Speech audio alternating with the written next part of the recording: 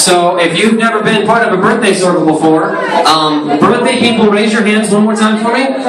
Those are the people that you're going to steal. If you're a lead, steal the girls. If you're a, uh, if you're a follow, steal the guys.